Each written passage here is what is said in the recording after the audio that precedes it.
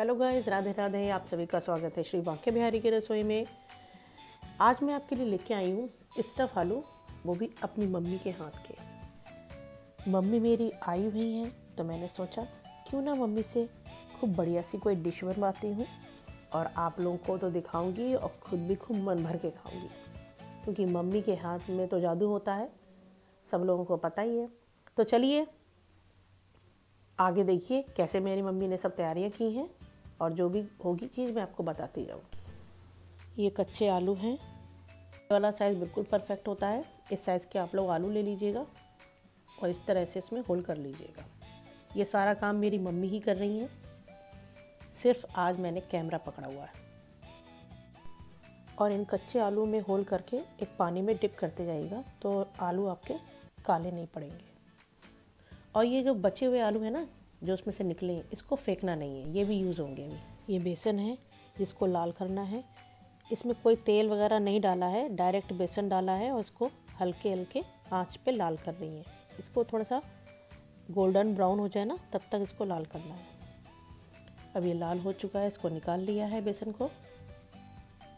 अब इसी कढ़ाई में हमने थोड़ा सा सरसों तेल डाला है उसमें डाली है हींग और डाली है हल्दी ऊपर से। अब इसको चलाइए थोड़ा सा, एक सेकंड के लिए, और ये बेसन इसमें ऐड कर दीजिए, जो पहले से लाल किया था। अब इसको धीमी गैस पे हल्के हल्के चलाइए। सारा मिक्स हो जाए, नमक ऐड कर दीजिए। थोड़ी सी पानी की छींटे डाल दीजिए, और फिर इसको अच्छे से चला लीजिए। इस तरह से दवा दवा के करिएगा। उसी कढ़ाई का यूज़ कर रहे हैं बार बार। और अब इसमें आप आलू डालिए तेल में, सरसों तेल डाला है, उसमें आलू लाल करने के लिए डाल दिए हैं। आप लोग ज़रूर से एक बार इस तरह से सब्ज़ी बना के देखिएगा। मेरी मम्मी बहुत टेस्टी बनाती हैं। मैं जब भी मम्मी के पास जाती हूँ ना तो मम्मी के ही हाथ से खाना खाती हूँ। बहुत स्वाद आता है अपनी माँ के हाथ से खाना खाने में, है ना? लहसुन की क्वांटिटी आप लोग देख लीजिए, हम लोग ज़्यादा खाते हैं। जिनको नहीं पसंद हो वो नहीं भी डालें, तभी भी चलेगा। और ये पाँच प्याज डाल रहे हैं इसमें। अपनी सब्ज़ी के हिसाब से आप लोग मसाला तैयार कर लीजिएगा। और एक कुछ गरम मसाला है, खड़ा, जो कूट लिया है। और आलू यहाँ लाल हो चुके हैं। खड़े गरम मसाले में हरी इलायची ले लीजिएगा तीन, एक बड़ी इलायची, लौंग और काली मिर्च, बस इतना सा कूट के डालना है। और ये आलू निकाल लिए हैं, और ये बेसन है, जिसमें ये गरम तेल डाल रही हैं मम्मी, जो बेसन लाल किया था ना उस, उसी में और इसको हाथ से मिला रही हैं। बिल्कुल गरम तेल आप लोग हाथ से मत मिलाइएगा। थोड़ा सा ठंडा हो जाए तभी, ये तो सबको पता है। तो चलिए, इसमें पानी नहीं ऐड करना है, इसी तेल से ही इसको मिक्स करना है और आलू में भरना है। आलू देखिए कितने बढ़िया से लाल हो चुके हैं। अब है बारी इसमें बेसन भरने की। तो देखिए, एक भर भी लिया है थोड़ा सा फट गया है। ध्यान रखिएगा आप लोग, छीलते समय। इस तरह से भरना है। ये देखिए, किस तरह से भरना है, एक बार आप लोग देख लीजिए। ऐसे करिए और अपनी छोटी वाली उंगली से इसको अंदर कर दीजिए। या आपके पास जो हो, पेंसिल वगैरह हो, आप उससे भी कर सकते हैं। बहुत इजी है। अब कढ़ाई में तेल डालिए, उसमें तेज पत्ता डालिए। और दालचीनी। और अब इसमें जाएगी हल्दी, जो पानी में भिगो के डालनी होती है, जो हमेशा मैं अपनी हर वीडियो में आप लोगों को बताती हूँ। इससे हल्दी का रंग भी अच्छा आता है और हल्दी भी नहीं जलती है।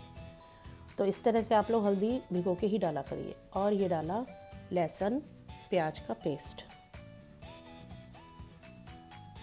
अब इसको भूनना है।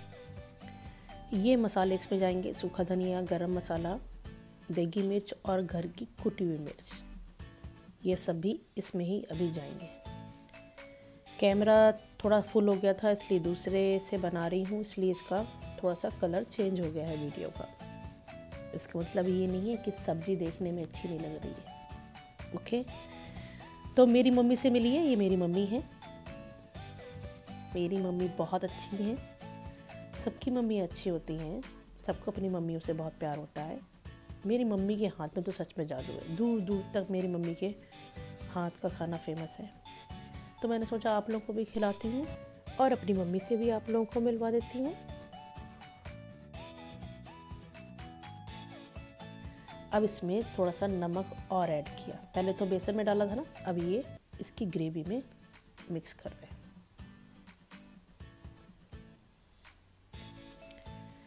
कैमरा थोड़ा सा चेंज हो गया है। प्लीज़ आप लोग सब्ज़ी के कलर पे मत जाना, सब्ज़ी बहुत टेस्टी बनेगी। और ये आलू डाल दिए हैं, प्याज भुन चुका है। भगवान ने भी ना, हम सबकी मम्मियों के हाथ में जादू डाल दिया है। मम्मी कुछ भी बनाती है ना तो ऐसा लगता है कि मम्मी जैसा खाना ना दुनिया में कोई नहीं बना सकता। है ना ऐसा? तो अब इस पे जो आलू बचे हुए थे ना, वो भी ऐड कर दीजिए। और इन आलूओं को भी ना लाल कर लिया है, जिससे ये अच्छे से गल गए हैं और इसमें अच्छे से मिक्स भी हो जाएँगे सब्ज़ी में। इसको थोड़ा सा करछुली से चला लीजिए और फिर इसमें गर्म पानी ऐड कर दीजिए। इसमें देखिए, गर्म पानी ही डाल रही है मम्मी, क्योंकि गर्म पानी से ना आपकी सब्ज़ी जल्दी बन भी जाती है और उसका टेस्ट भी बहुत अच्छा आता है, क्योंकि कच्चे पानी को बहुत पकाना होता है आपको और सब्ज़ी आपकी बहुत जल्दी बनती है इस तरह से। अब इसमें धनिया डाल दीजिए। धनिया डालते ही देखिए कितनी रौनक आ जाती है सब्ज़ी में और कितनी लाजवाब लग रही है। बहुत ही टेस्टी आलू बने हैं। अब इसको तह वाले गरम पराठे के साथ मैं खाऊँगी और वो भी अपनी मम्मी के हाथों से ही खाऊँगी, क्योंकि मम्मी के हाथ से खाने में ना मुझे आज भी बहुत मज़ा आता है। तो चलिए आप लोग बनाइएगा इस तरह से आलू और बताइएगा कैसे बने। फिर मिलते हैं किसी अच्छी नई डिश के साथ। राधे राधे